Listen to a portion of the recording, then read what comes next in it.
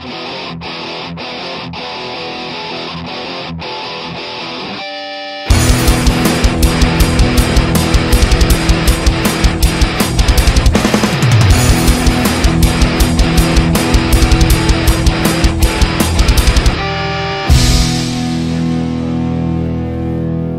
y'all, it's Heel Heat time.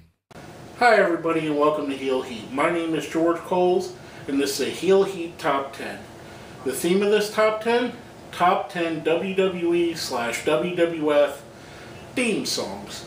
Now, before we get into this, I want to preface it by saying I'm going to be using my phone, so the sound quality may not be the greatest, but that's what I'm going to play a little snippet off of this from. Um, also, to qualify for this list, I'm only using songs that were made for a wrestler.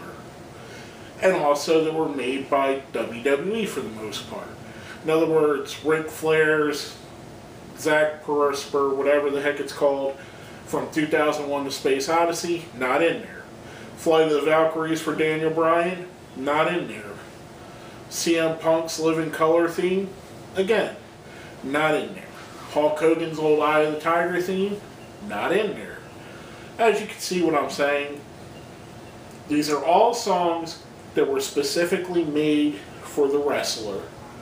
And I'm going to start off with number 10, a guy who came from ECW, had an awesome song in ECW, but with ECW songs, it wasn't licensed. So here it is.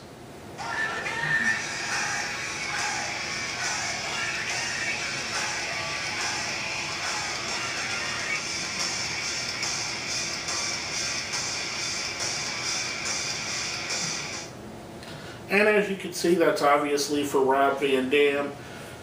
I like the song for several different reasons. A, it sets up who's coming out to the ring, it explains who he is, it gives us a nice heavy rock beat, um, something that we've seen him in ECW with, and it kind of fits him perfectly. It, I can't imagine the song being used for anybody else, and I can't imagine him using any other song in the WWE. So I think, in my opinion, one of the better theme songs are number 10. Now let's go right into our number 9. Probably the newest on our list.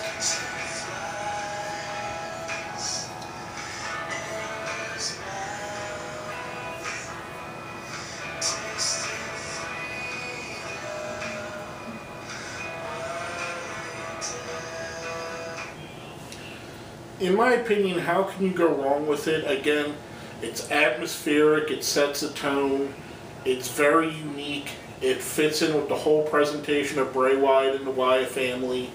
Um, it's something that the crowd can hold their lighters up to. It's something very different, very, very cool. And I know it was made before the Wyatt family, but this is kind of, it was an obscure song that they plucked out and made into his own. I think it's an awesome song, to be honest with you. One of the, hence why it's on our list here. Now, coming off of that, where as we skip around a bit, our number eight song.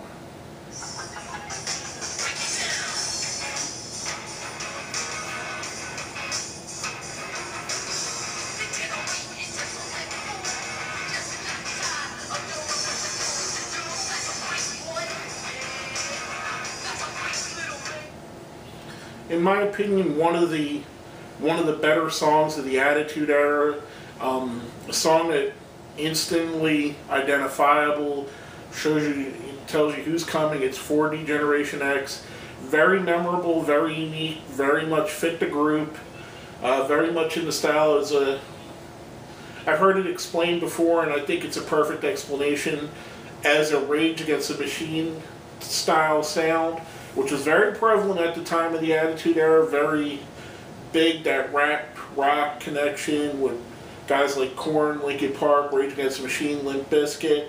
It fit the era, it fit the group, it fit their attitude, which leads into the Attitude Era, which gives a perfect, perfect example of, you know, a song fitting fitting with the person, in my opinion. In this case, a song fitting with the group.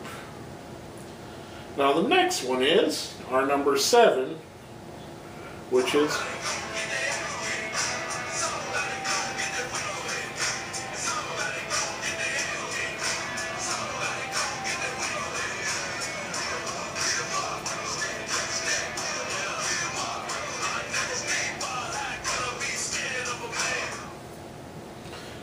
Mark Henry's theme song. In my opinion, them going outside getting Three 6 Mafia, who was really hot at the time, to make Mark Henry a theme song that not only fit him, fit his character. To me, it's the most. it's the best example of them using a rap song as a theme. John Cena's is very good, it's very unique. This one to me fits the Mark Henry character. WWE has been notoriously behind the times when it comes to rap music. Um, Shane got a little bit of a rap song. It fit, but for the most part, their songs were kind of cheesy, like Men on the Mission, um, you know, PG 13, other rap songs they tried to use. And this one, it, at the time it came out, at the time they began using it, it was very hip, very relevant, fits with Mark Henry. It was made specifically for him, and it's easily the best rap song entrance in WWE history, in my opinion. Now, next up, our number six.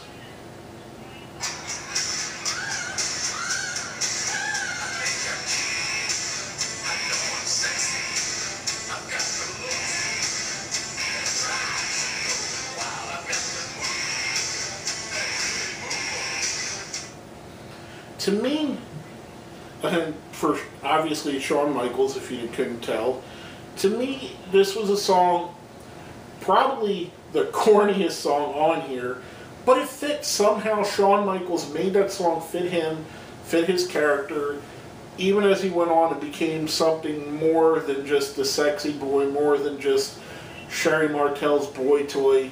Um, it was very, I don't, I think this is a case where the character sold the song more so than the song sold the character. But then again, as soon as you hear that music, you know who it is and you know who's coming out and you know why. One of the great performers of all time, one of the best theme songs of all time, kind of wraps itself all together if you ask me. Now next up, we have our number five.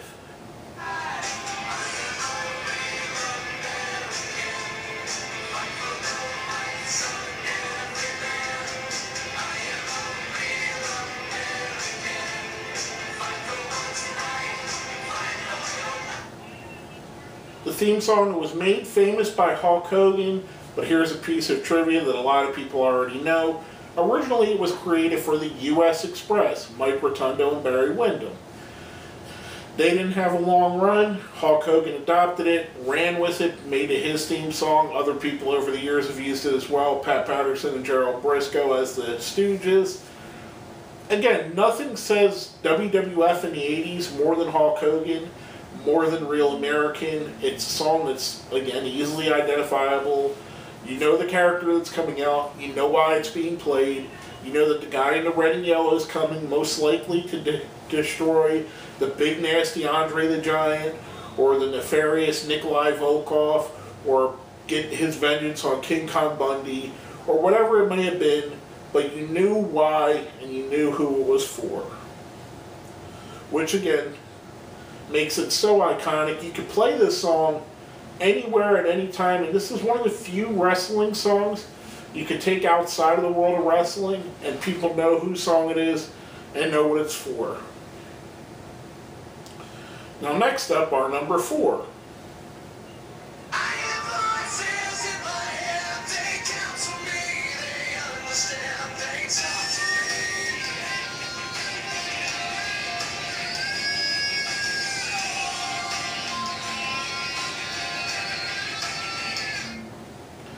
In my opinion, Randy Orton's theme song fits him just like a glove.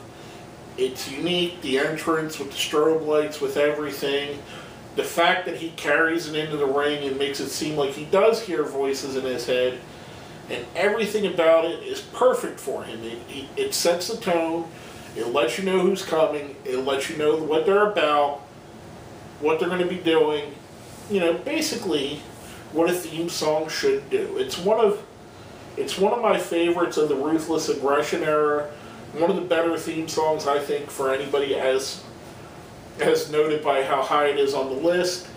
I absolutely love it. I think it fits Randy Orton perfectly. I think they're, this is meshed so well and gets so, it's such a great combination, the two, the theme song and the character. Now our number three.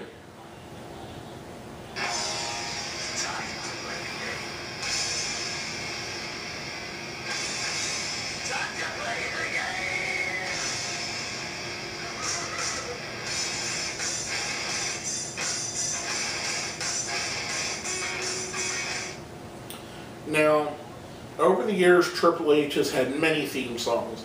First is Connecticut Blue Blood theme, then his DX theme, then the My Time, the game, the King of Kings. In my opinion, this is the best of his theme songs. This is the one iconic to him. This is the one you think of when you think of him coming to the, the ring with Motorhead playing. Uh, Motorhead obviously did the song synonymous with Triple H. They did a couple of his themes. They did the uh, Evolution theme for him. They did King of Kings. They did this for him. Perfect song for a perfect wrestler. In my opinion, it helped elevate his game and and make him something totally unique to have such a great song attached to him. And this easily, if you take the song itself, could have been a heavy metal hit. And I believe it was even back in the day when it first came out, that it was a hit, that it did chart on the billboards, um, heavy metal and hard rock. But it's a great song in my opinion. Perfect fit. Again, another song that fits the character perfectly. My favorite of Triple H's theme songs, and all of his were actually really good to be honest with you. Now our next one, our number two.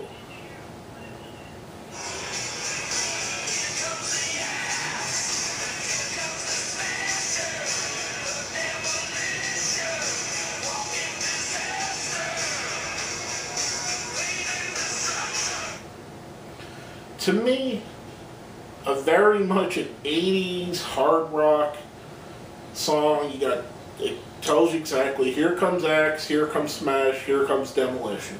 They're bringing pain and disaster with him. Demolition, in my opinion, criminally underrated team. Um, they're given a lot of shit for being a Road Warrior clone, but they were very unique in their own way.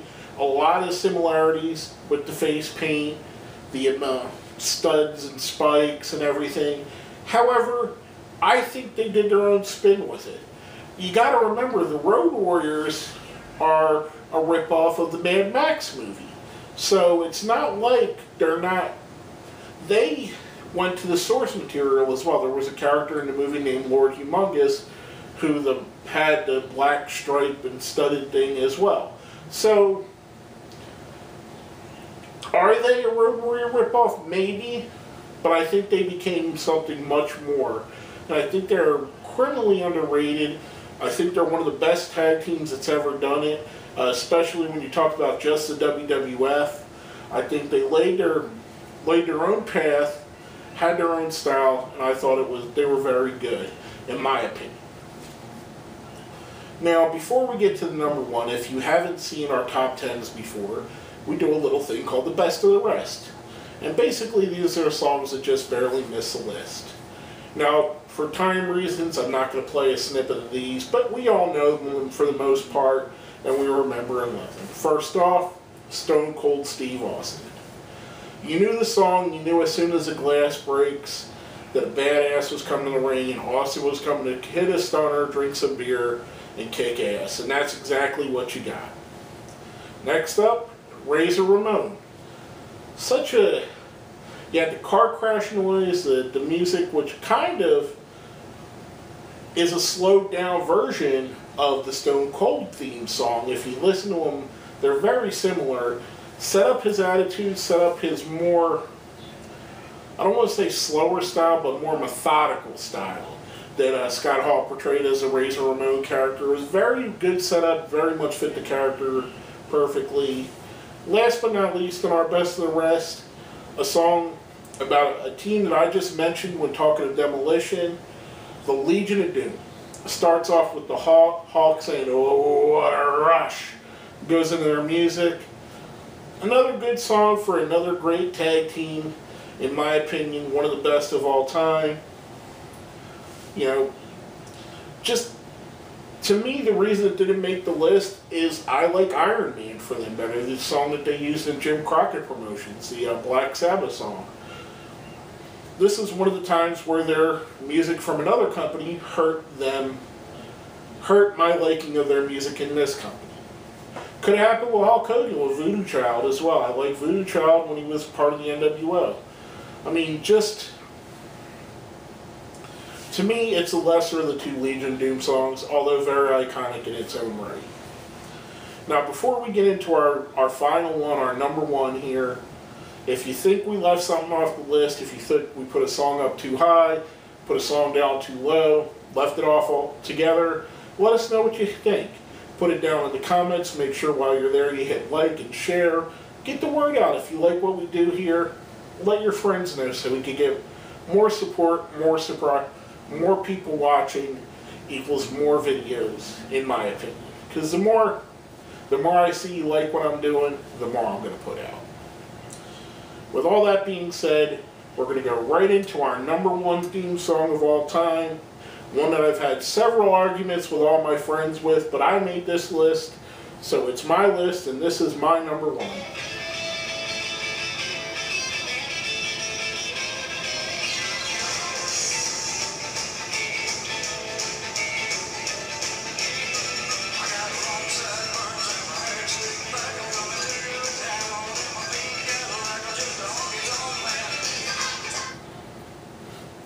Now,